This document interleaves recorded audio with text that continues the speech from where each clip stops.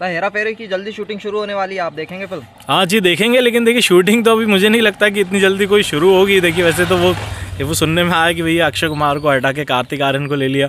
फिर सुनने में आ रहा था कि भैया वापस अक्षय कुमार आने वाले हैं। उसके बाद अक्षय कुमार का इंटरव्यू आया कि भैया मैं नहीं कर रहा हूँ, वो भी दुखी थे, ऐसा वो सारी चीज़ें उन्होंने भी फ़ैन से माफ़ी मांगी। तो काफ़ी ज़्यादा हेरा फेरी चल रही है, हेरा फेरी थ्री को लेकर।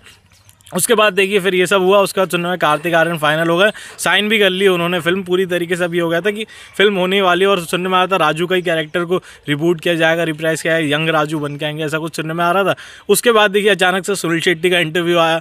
वहाँ पर भैया वो बोल रहे कि मुझे अभी इस बारे में नहीं पता, मैं अपनी शूटिंग में बिज़ी था, मैं अभी बात करूँगा अक्षय कुमार से बैठ के और वो सारी चीज़ें। लेकिन फिर देखिए वो सारी चीज़ें फिर सभी को लग रहा था कि हाँ यार, वापस सुनील शेट्टी हो सकता है, अक्षय कुमार को मना के वापस ले आए, ऐसा कुछ सुनने में आ रहा था फिर। लेकिन उसके बाद देखिए फिर सुनील शेट्टी ने एक इंटरव्यू में मतलब ऐसा तो कुछ नहीं कहा कि अक्षय कुमार नहीं होंगे, लेकिन उन्होंने ये बोल दिया कि कार्तिक राजू का कैरेक्टर प्ले नहीं कर रहे हैं। लेकिन उन्होंने ये भी नहीं कहा कि राजू अक्षय कुमार बन के आ रहे हैं। तो ऐसे में देखिए, अक्षय कुमार ने तो देखिए क्लियर कर ही दिया था कि वो नहीं रहने वाले फ़िल्म में।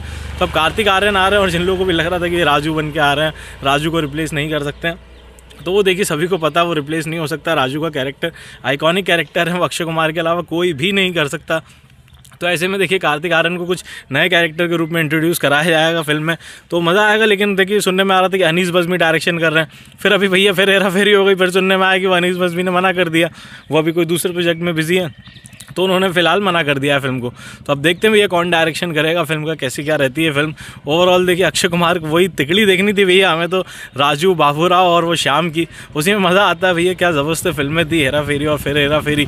मतलब फिर हेरा फेरी का तो अभी कोई तोड़ ही नहीं है, इतनी ज़बरदस्त। जितनी बार आप देख लो, उतनी बार हँसी आती है मतलब वो राजू और बाबूराव ने तो भैया क्या काम किया था उसमें। तो ऐसे में भैया अक्षय कुमार के साथ ही बनती तो ज़्यादा अच्छा रहता।